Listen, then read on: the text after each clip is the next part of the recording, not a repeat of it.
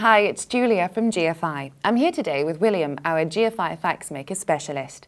William's going to be talking us through the GFI FaxMaker installation process. A quick question.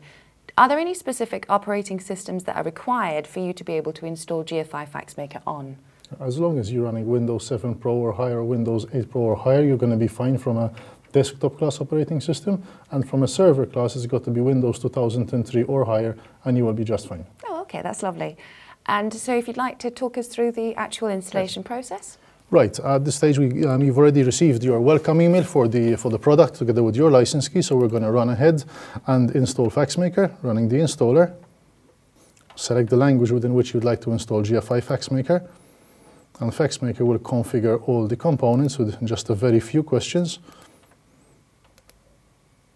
FaxMaker is going to two main components. One is the FaxMaker server and the remote monitor. The remote monitor is going to be installed on the main FaxMaker machine to allow users to connect to that remotely to monitor um, being on a machine which is separate from the server itself. Right.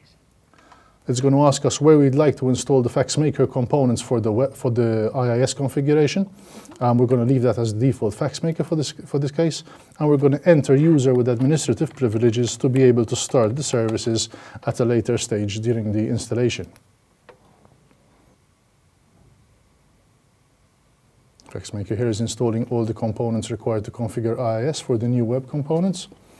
It's a very smooth and fast system, isn't it? Yes, the installer contains all the pieces which, is, which are required to avoid the uh, requirement of installation, media and similar, and similar items.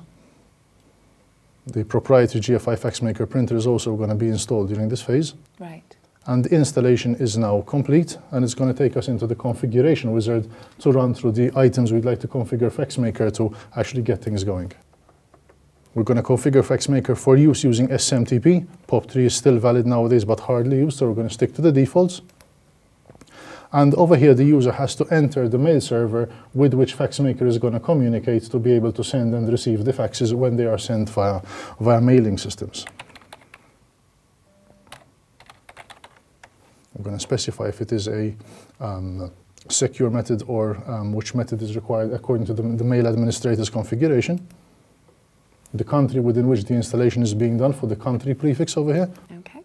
And we're going to specify which device or, or method or transport, if you like, is going to be used for FaxMaker to communicate with the external world to um, receive and send faxes. Okay. We're going to use the GFI proprietary online faxing system for this.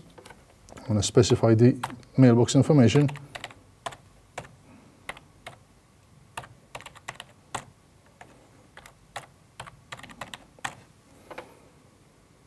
Proceed with the installation.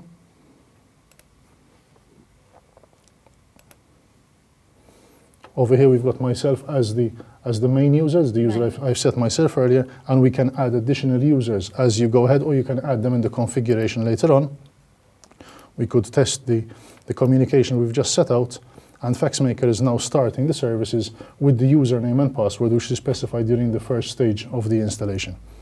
Services are now started, and configuration is ready to go. Um, FaxMaker will now launch the, uh, the startup wizard as well as the configuration for the uh, server administrator to start configuring all the other details they'd like to go into. Brilliant. Fast and simple. Thank you very much, William. If you'd like to check out more videos, simply visit gfi.com forward slash faxmaker.